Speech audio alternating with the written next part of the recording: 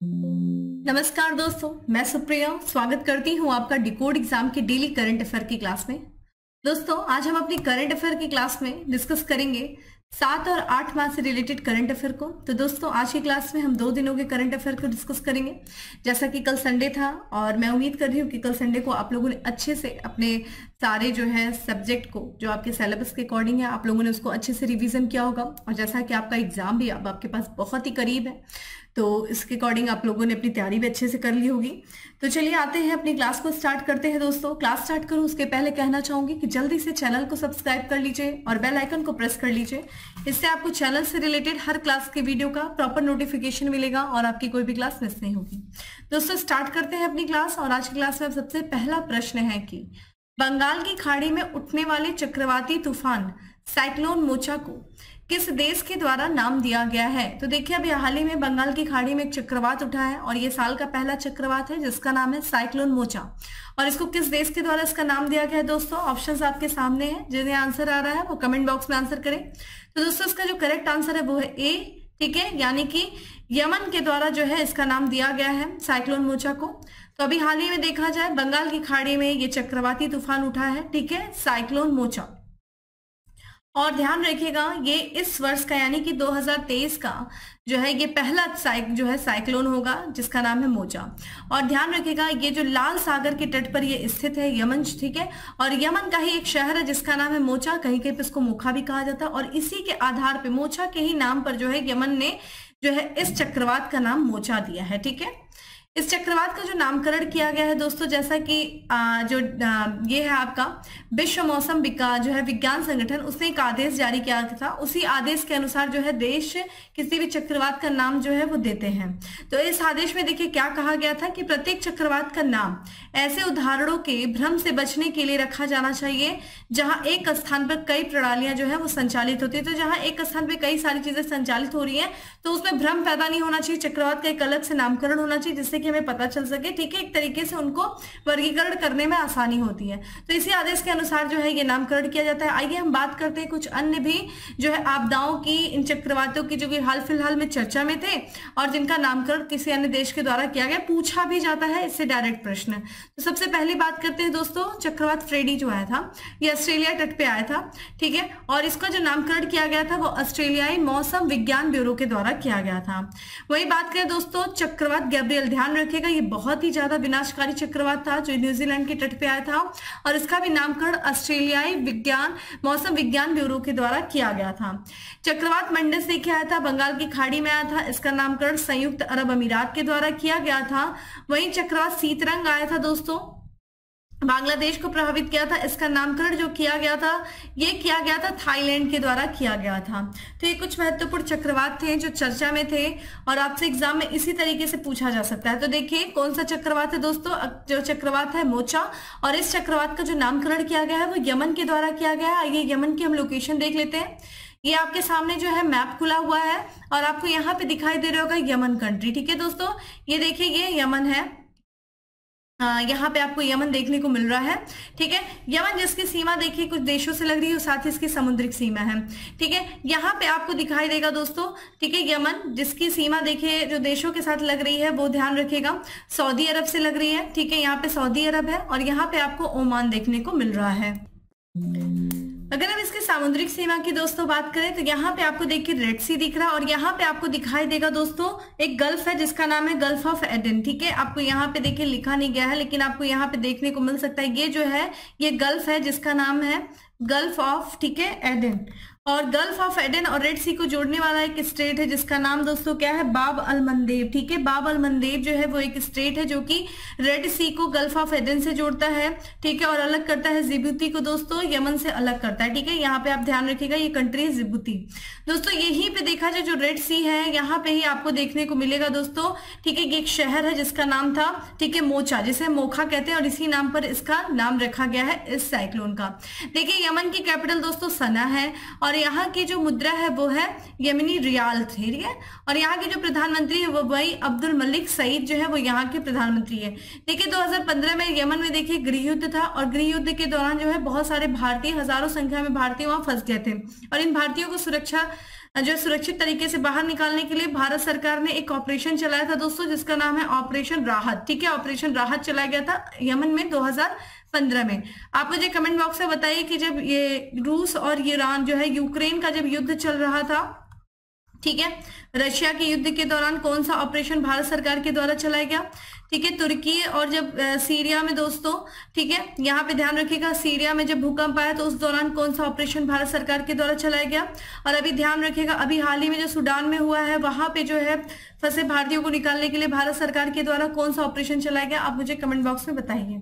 चलिए, अगला प्रश्न है हमारा की केंद्रीय मंत्री नित्यानंद राय ने किस राज्य में दावकी भूमि बंदरगाह का, ठीक है दावकी भूमि बंदरगाह का उद्घाटन किया है? तो दावकी भूमि बंदरगाह का जो उद्घाटन किया गया है ऑप्शंस आप देख रहे हैं और ये किया गया मेघालय में, ठीक है? यानी कि ये देखा जाए, उत्तर पूर्वी जो राज्य है सेवन सिस्टर में से एक मेघालय में दावकी भूमि का उद्घाटन किया गया है। और ये केंद्रीय गृह राज्य मंत्री है नित्यानंद राय, इन्हीं के द्वारा किया गया है। ये भारत और बांग्लादेश के बीच में स्थित है, ठीक है? और इन दोनों देश, यानी कि भारत और बांग्लादेश के बीच में व्यापार और वाणिज्य को बढ़ावा देने के लिए, ठीक है? जो मेघालय के पश्चिमी हिल, देखिए तीन हिल्स है ना, गारो खासी जयंतिया, ठीक है? गारो खासी जयंतिया तो जो पश्चिमी जयंतिया हिल्स है, वहीं पे जो है दाविकी भूमि बंदरगाह का उद्घाटन किया गया, ठीक है? बेसिकली इस बंदरगाह का जो उद्घाटन किया गया है, वो भारत और बांग्लादेश के बीच व्यापार वाणिज्य को बढ़ावा देने के लिए किया गया है।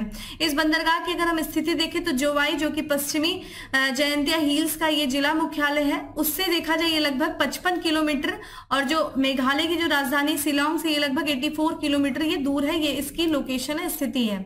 इस बंदरगाह को बनाए जाने का जो उद्देश्य था, जैसा कि हमने बताया, कि इन दो देशों, यानी कि भारत और बांग्लादेश के बीच जो व्यापार है, वाणिज्य है, जो परिवहन केंद्र है, उनको बढ़ावा देना, उनके बीच में काम करना और सीमा पार देखा जाए माल, लोगों और वाहनों की आवाजाही को आसान बनाने के लिए, ठीक है?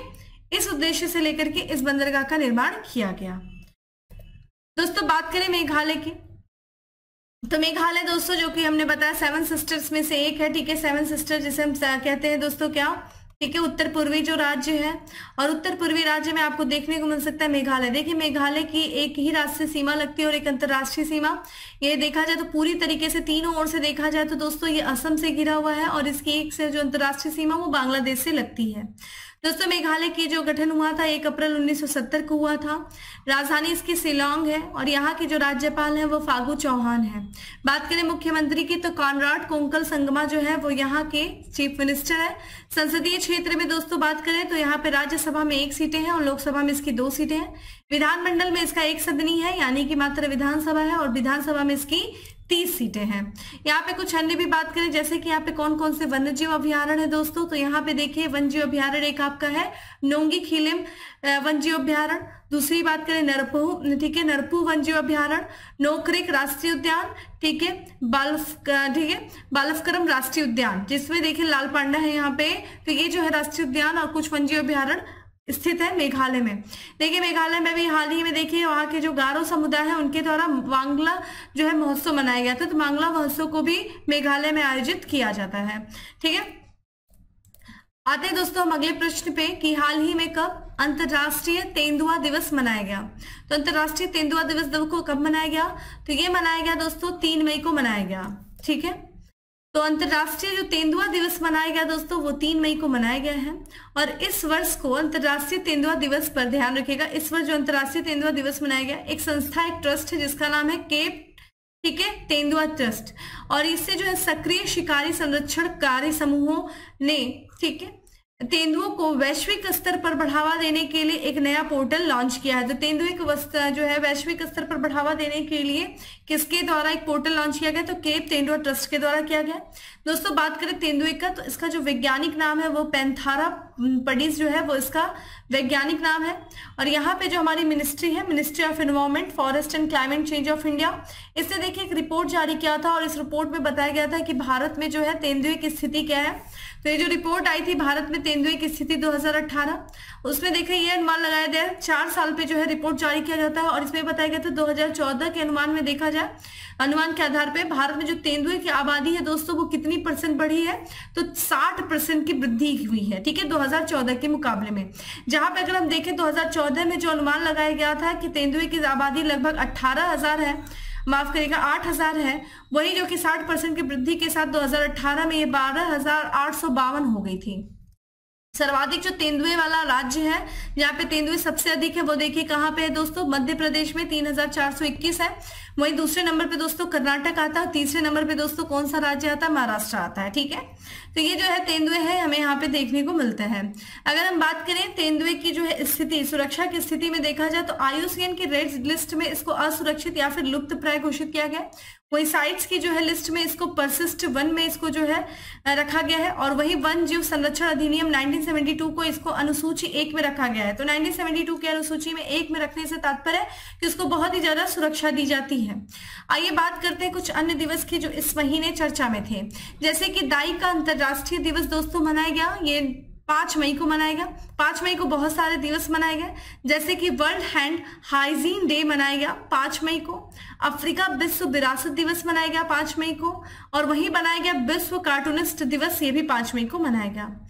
चार मई को देखिए दो दिवस मनाए गए एक अंतर्राष्ट्रीय अग्निशमन दिवस मनाया गया और दूसरा मनाया गया कोयला खनिक दिवस मनाया गया।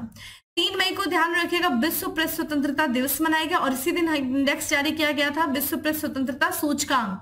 ठीक है, जिसमें भारत की रैंक क्या है, आप मुझे कमेंट बॉक्स में आंसर करिए कि वर्ल्ड प्रेस फ्रीडम इंडेक्स में वर्ल्ड प्रेस फ्रीडम इंडेक्स में भारत की रैंक क्या है, जो कि जारी की गई थी विश्व प्रेस स्वतंत्रता दिवस के अवसर पे तीन मई को, क्या है? और वही विश्व श्रम दिवस मनाया गया, अंतरराष्ट्रीय श्रम दिवस एक मई को मनाया गया। तो ये देखिए, अभी तक के जितने भी जो दिवस थे, जो मई में अभी चर्चा में थे, हमको, हमने यहाँ पे इसको रिविजन किया। अगला प्रश्न है दोस्तों की नेशनल मैन्युफैक्चरिंग इनोवेंशन सर्वे 2021-22 द्वारा किस राज्य को सबसे नवीन राज्य का दर्जा दिया गया है?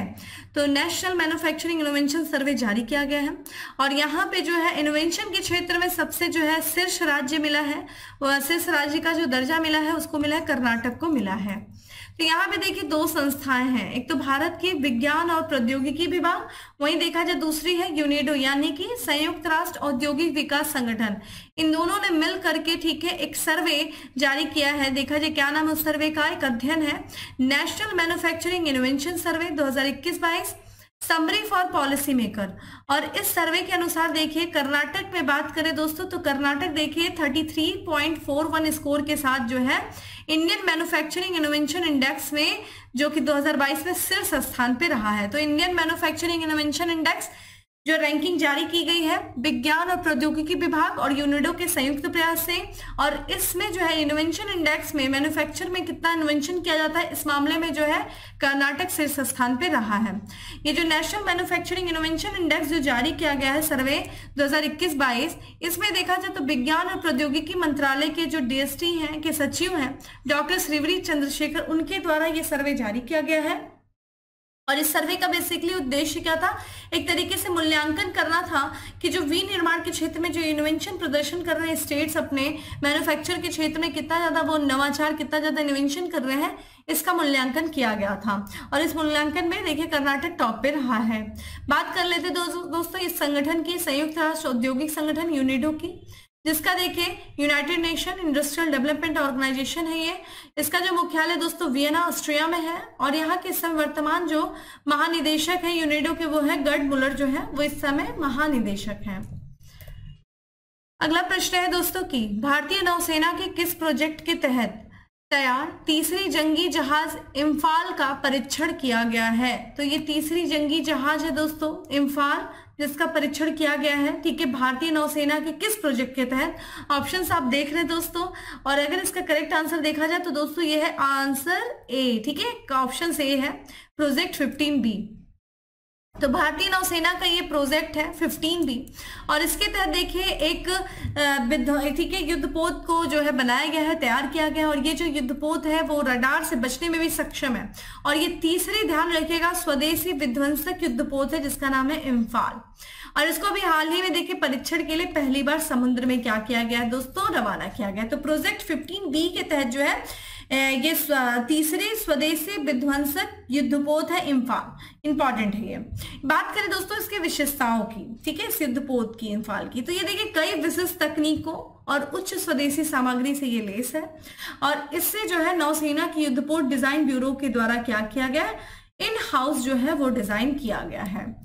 बात करें आई एन इम्फाल की दोस्तों तो ये भारतीय नौसेना के जो विशाखापट्टनम श्रेणी के स्टेल्थ गाइडेड मिसाइल डिस्ट्रॉयर का ये तीसरी जहाज़ है। और इसका जो निर्माण किया गया है, वो मजगांव डाक लिमिटेड के द्वारा किया गया है, ठीक है?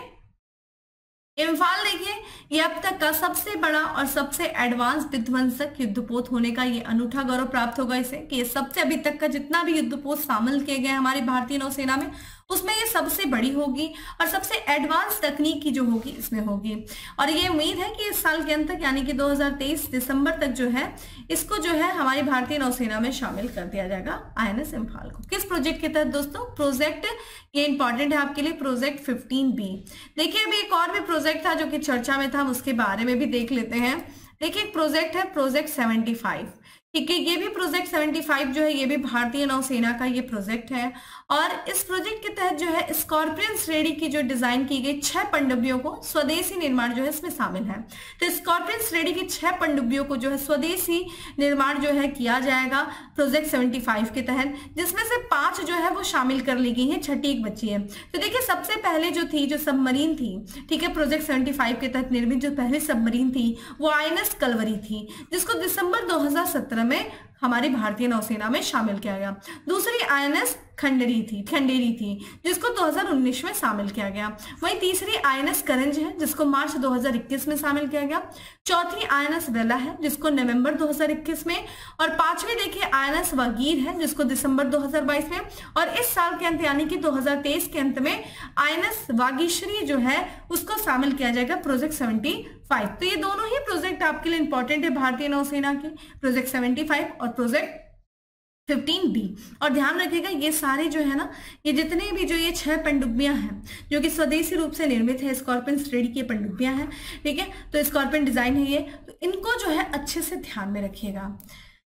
अगले प्रश्न की तरफ़ बढ़ते हैं दोस्तों, और ये मिशन है भारत सरकार का। ठीक है तो केंद्र सरकार का मिशन है, जिसका नाम है स्मार्ट सिटी मिशन और स्मार्ट सिटी मिशन की जो है सीमा, वो किस वर्ष तक बढ़ा दी गई है? केंद्र सरकार के द्वारा। ऑप्शन आप देख रहे हैं दोस्तों, और इसका जो करेक्ट आंसर है, वो है बी ठीक है तो यहाँ पे 2024 तक जो है स्मार्ट सिटी मिशन की समय सीमा को बढ़ा दिया गया है। तो केंद्रीय आवास और शहरी मामलों के मंत्रालय, ठीक है?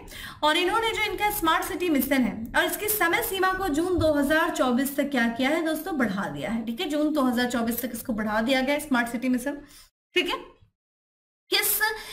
स्मार्ट सिटी मिशन है दोस्तों, ये किस मंत्रालय का है? तो केंद्रीय आवास एवं शहरी मामला, ठीक है, मंत्रालय का है ये। इससे देखा जाए, अब ये जो समय मिला है दोस्तों, एक तरीके से पूरा एक साल का वक्त मिला है।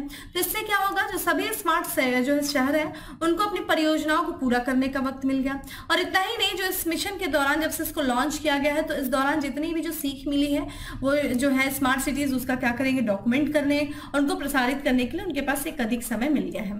दोस्तों स्मार्ट सिटी की बात करें तो स्मार्ट सिटी मिशन है देखिए, इसको 2015 में शुरू किया गया था और इसमें जो है 100 जो स्मार्ट सिटी को चुना गया था, वो जनवरी 2016 से लेकर के जून 2018 के बीच में एक प्रतिस्पर्धा किया गया था। और इसी प्रतिस्पर्धी प्रक्रिया के माध्यम से सौ शहरों को चुना गया था, जिनको आगे जाकर के स्मार्ट सिटी बनाना था।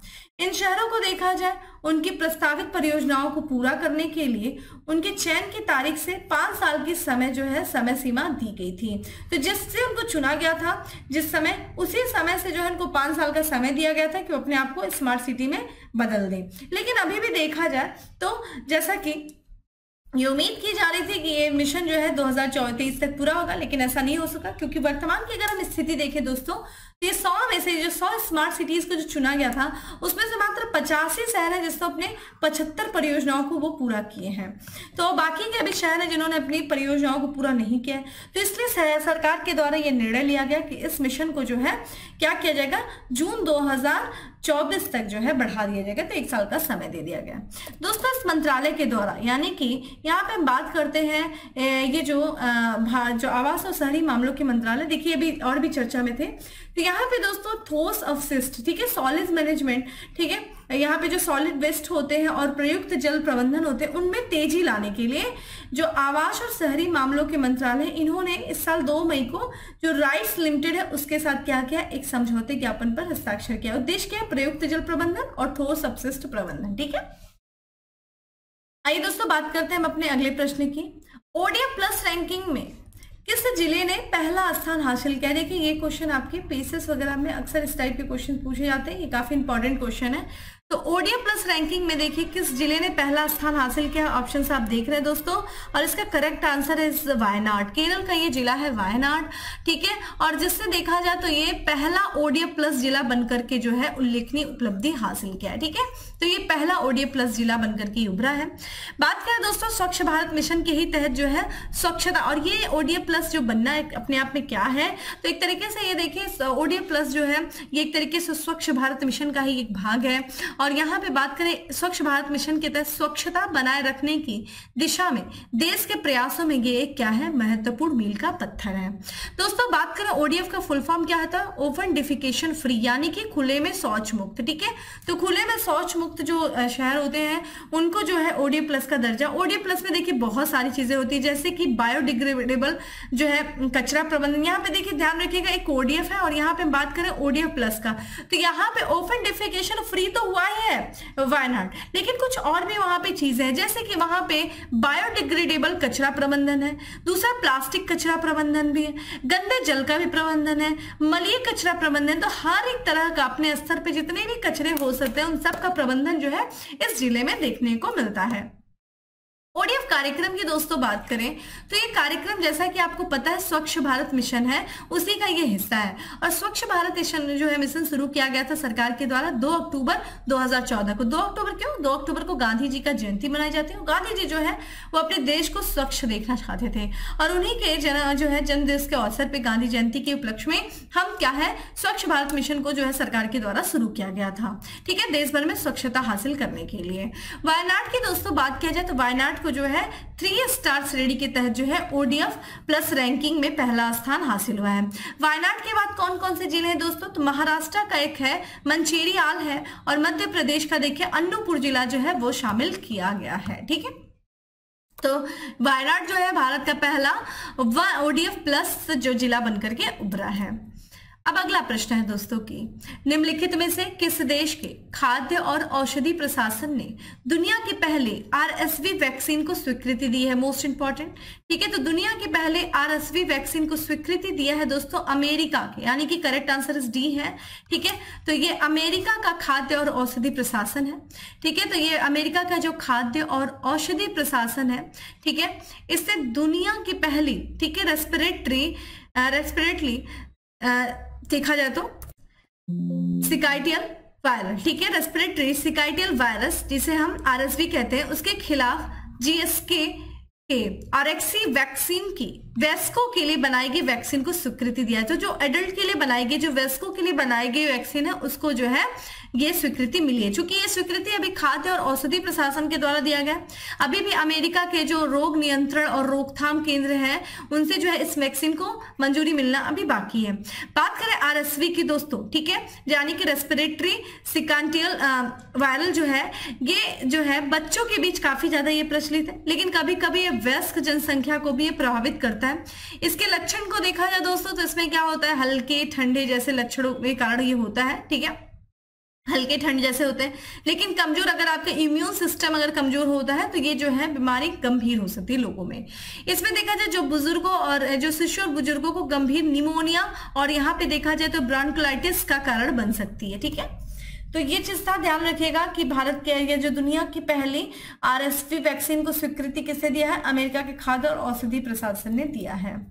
आइए दोस्तों, बात करते हैं अगले प्रश्न की। भारत की पहली अंतर समुद्री सुरंग कहाँ खुलने वाली है? तो ये अंतर सुरंग जो है समुद्री सुरंग जो है खुलने वाली दोस्तों, मुंबई में खुलने वाली है। तो ये बृह जो है बृह मुंबई है।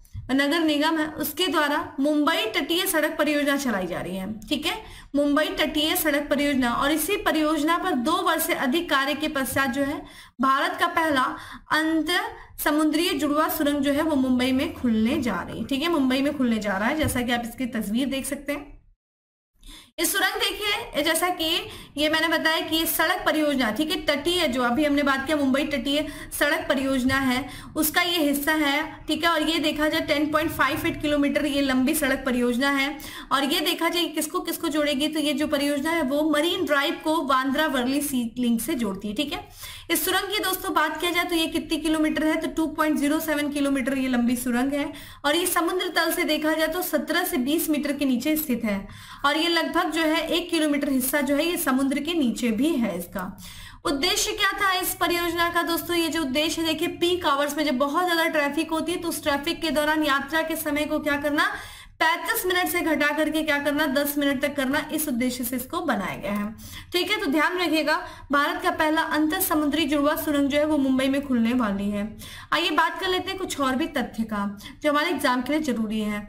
जैसे कि भारत का पहला केवल आधारित रेलवे ब्रिज बनकर तैयार हुआ है दोस्तों, कहाँ बनकर तैयार हुआ है? जम्मू कश्मीर में आप यहाँ पे तस्वीर देख सकते हैं। वहीं देखा जो दुनिया के सबसे लंबे रेलवे प्लेटफॉर्म का उद्घाटन किया गया दोस्तों, कहाँ पे? हुबली कर्नाटक में किया गया था। मुंबई का चर्च गेट स्टेशन है, देखिए, उसका नाम बदल करके क्या कर दिया गया दोस्तों? C D Deshmukh station. तो चर्च गेट स्टेशन का नाम बदल करके सीडी देशमुख स्टेशन कर दिया गया है, जो कि मुंबई में स्थित है। आइए आज के लास्ट एमसीक्यू की तरफ़ बढ़ते हैं। यूके में ग्रीन ऑर्गेनाइजेशन ने किस मेट्रो को ग्रीन वर्ल्ड अवार्ड 2023 प्रदान किया है? तो यहाँ पे ग्रीन ऑर्गेनाइजेशन ने किस मेट्रो को ग्रीन वर्ल्ड अवार्ड जो है 2023 प्रदान किया है? तो इसमें देखा जाए करेक्ट आंसर इज़ ए है, चेन्नई, ठीक है? तो यहाँ पे यूनाइटेड किंगडम की ग्रीन ऑर्गेनाइजेशन है और इसने देखा जाए चेन्नई मेट्रो रेलवे ठीक है रेल लिमिटेड को ग्रीन वर्ल्ड अवार्ड 2023 जो है वो प्रदान किया है, ठीक है? चेन्नई मेट्रो रेलवे लिमिटेड को। यहाँ पे देखा जाए मियामी में, ठीक है? मियामी में एक कार्यक्रम आयोजित हुआ था और उसी कार्यक्रम के दौरान देखा जाए तो चेन्नई मेट्रो रेल लिमिटेड ने ग्रीन वर्ल्ड अवार्ड 2023 की कार्बन कटौती श्रेणी में क्या जीता है दोस्तों? रजत पदक जीता है, ठीक है? सिल्वर मेडल जीता है। इस ऑर्गेनाइजेशन की दोस्तों बात किया जाए ग्रीन ऑर्गेनाइजेशन की तो ये एक पर्यावरण गैर लाभकारी संगठन है और ये दुनिया भर में जितने भी पर्यावरण के लिए जो सर्वोत्तम प्रथाएँ उनकी पहचान करता है, जो पर्यावरण के संरक्षण में जो लोग कार्य करते हैं, उनको सम्मानित करता है और साथ ही साथ ऐसे कार्यों को, ऐसे कार्यक्रमों को बढ़ावा देता है जो पर्यावरण के संरक्षण में अपनी महत्वपूर्ण भूमिका निभाते हैं। तो ग्रीन ऑर्गेनाइजेशन ये यूके बेस्ड ऑर्गेनाइजेशन है। तो दोस्तों, ये था आज का हमारा टेन एमसीक्यू अब बात करते हैं दोस्तों किसके बारे में? फैक्ट्स ऑफ़ द डे के बारे में। दोस्तों, हमारा सबसे पहला फैक्ट है कि विश्व स्नूकर चैंपियनशिप का खिताब अपने नाम क्या है? किसने किया है? लुका ब्रेसल ने। बेलेजियम के हैं, ठीक है? वही दो बार डायमंड लीग का खिताब जीतने वाले पहले भारतीय खिलाड़ी दोस्तों बन गए। कौन बन गए नीरज चोपड़ा बन गए हैं। अगला है, हाल ही में पुस्तक। Made in India 75 year business and enterprises का विमोचन हुआ है। इस पुस्तक के लेखक दोस्तों कौन है? अमिताभ कांत हैं। वहीं देखा जाए, वेट फिट के ब्रांड एम्बेसडर के रूप में नियुक्त किया गया है दोस्तों। किसे किया गया है? आयुष्मान खुराना को किया गया अभिनेता आयुष्मान खुराना को। वहीं देखा जाए, कोल इंडिया के अगले अध्यक्ष के रूप में नियुक्त किया गया है। किसे दोस्तों? यहाँ पे पोला वरापू एम प्रसाद को किया गया है। तो ये था दोस्तों, आज का हमारा करंट अफेयर उम्मीद करती हूँ आपको अच्छा लगा होगा। अच्छा लगा हो तो लाइक करिए, ज़्यादा से ज़्यादा लोगों को शेयर करें। और डेली करंट अफेयर की जो पीडीएफ है, वो टेलीग्राम ग्रुप पे अवेलेबल है, जिसका लिंक आपको डिस्क्रिप्शन बॉक्स में दिया हुआ है। जाइए डाउनलोड करिए और लग जाइए अपने प्रिपरेशन में। दोस्तों, फिर मिलेंगे अपने अगले सेशन में। तब तक के लिए bye have a good day stay safe and stay happy